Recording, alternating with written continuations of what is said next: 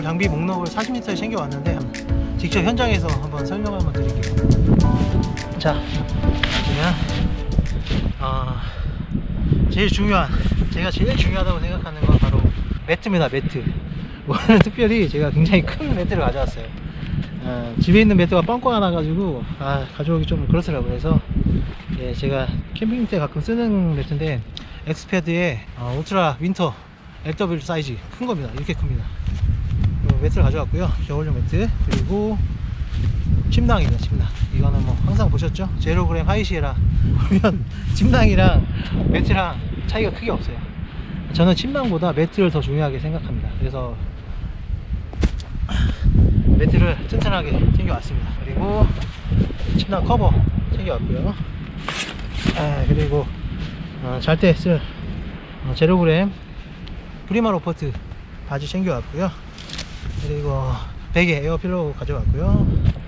그 다음에 우모 상의 어, Rab Neutrino Endurance 패딩 챙겨왔습니다. 그리고 텐트는 보시면 여기 써있죠? 아, Hilleberg Nallo 2 GT입니다. 아 제가 이걸 가지고 될 줄은 진짜 상상도 못했습니다. 보시면 이게 본체 스킨하고 안에 이너가 들어있는 사이즈인데 침낭보다 큽니다. 보시면 티가 나죠? 엄청나요. 그리고 폴대도 가져왔고요. 아 그리고 이거는 제가 먹을 거 오늘 이렇게 조금 조그맣게 해서 챙겨왔습니다.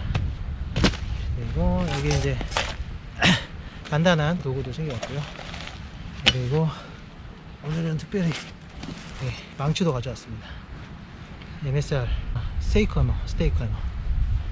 그리고 늘 가지고 다니는 OEX의 발포 매트, 발포 롤 매트 이렇게 조합으로 가져왔습니다. 배낭은 40m고요. 보시는 것처럼 네. 이 40m 배낭에 이 장비가 다 들어왔습니다. 뭐 스패치도 있고요. 스패치도 있는데 이제 뭐 꺼낼 필요가 없어서 아이젠도 있고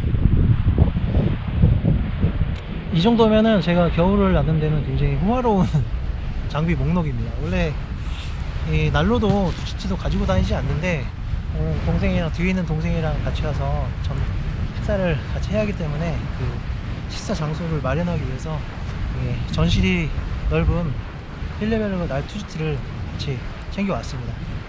어, 저도 안 될 것 같았는데 이렇게 용기 다 들어갔습니다. 겨울이 뭐 이렇게 위험하고 그렇다고 하는데 잘 준비해서 오시면 위험할 게 크게 없습니다.